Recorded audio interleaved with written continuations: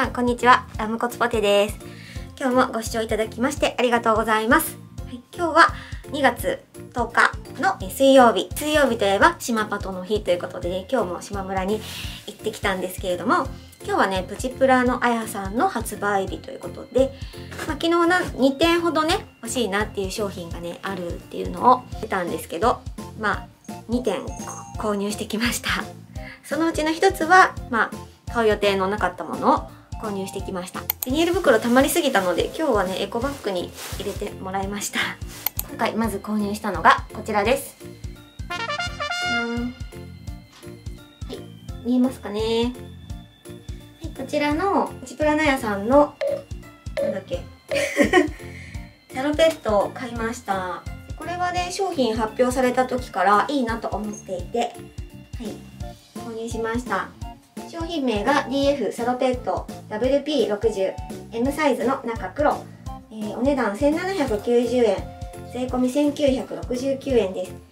で素材はポリエステル94%ポリウレタン6%ということであのサラサラしていてペットがいても多分毛がつかないようなテロッとしたあのポリエステルの素材なのでこれだったら履けるかなと思って購入しました。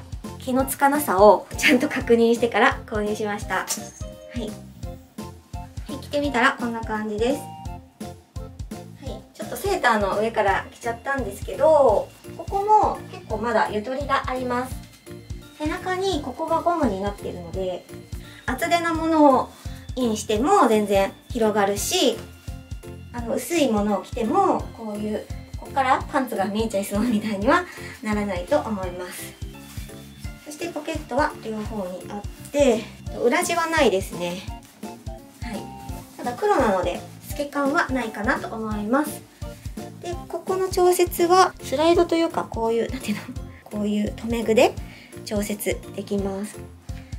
私1 6 0センチで最初に調節されてたまま着てるんですけどちょうど長さもくるぶしぐらいで今ちょうどこれでこの感じでちょうどいいかなと思ってます。はい私本当に自称 M サイズの女なんですごいちょうどいいです。次に購入したのは、コラボ商品ではないんですけどこちらを購入してみました。はい、こちらねバンドカラーのチュニックになります、はい、見た瞬間可愛いなと思って、はい、購入してみました。商品名がバンドカラーチュニック、えー、L サイズ中緑。お値段1290円。税込1419円です。はい。ちょっとね L サイズしかなかったんですけどどうだろう。逆に L サイズでもいいのかなと思って。そして帰りにいつもの島村に帰り道にあるから寄ってみたんですけど M があったんですよ。これの M が。ででもなんかオーバーサイズの方が可愛いかなと思ってとりあえず L サイズでにしてみました。色はねまあ緑なんですけどちょっとグレーみがかった緑ですね。そしてここにねバンドカラーにな首はバンドカラーになっていてボタンが金のボタンで結構個性的だなと思ってはい。ちょっとかっこいい系とかにいいのかなと思いました、はい、で素材はポリエステル97%ポリウレタン3%です、はい、でまあ透け感はないかなという感じです。なんかかっこいいなと思ってここのボタンがかっこいいなと思ってしまって。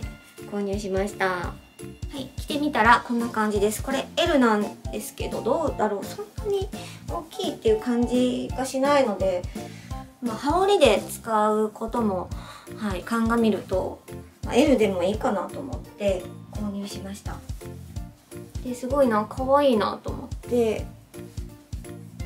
でウエストはリボンがついているんだけど後ろは中に入り込んでいますのでなんかリボンだけなくしてしまう心配もないかなと思います。羽織にして使いたい場合はこうやって後ろで結んじゃってもいいかなと思いました。はい。えなんかなんか可愛い可愛いです。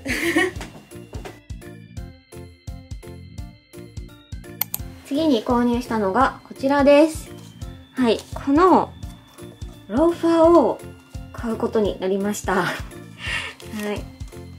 チプラナヤさんのローファーで、えっ、と、商品名が DF2way スクエアローファー M サイズで中黒。お値段が1790円、税込1969円です。はい。今回、ローファーが2種類出ていて、もうちょっと、ここが丸くて、で、厚底でガーリーなものと、こちらは少しね、とんがっているというか、先がスクエアになっていて、そして、あの、底の方も厚くない感じの、どちらかといえば大人っぽいだったので購入してみました。私、車の運転するのであんまり厚底のシューズは履きたくないので、こっちだったらいいかなと思って購入しました。